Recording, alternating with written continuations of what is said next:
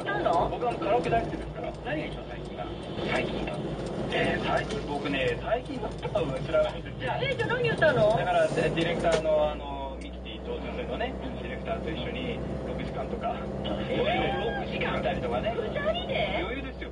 一番おはお箱は何ですか？お箱なんですけど、僕でも、あの、渡辺真知子さんの曲とか、千秋直美さんのはもちろん定番で歌うんですけど、えー。男性の、あの、福山さんとか、あと、米米クラブとかも結構、青春時代ね、過ごしたんで、幅広いですよ。結構華やかな曲をそうするのね二人の歌わないですよ、まあ。歌わないはい。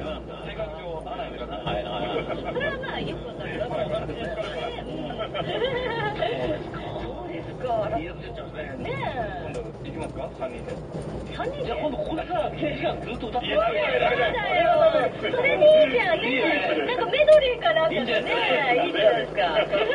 じゃあこちらどうかえー、な先ほどですね、えーいただいた新潟県のカックンルンバさんの和田アキ子さんのボーイガール用意できたようなのでここでかけたいと思います。行きましょう。和田アキ子ボーイガール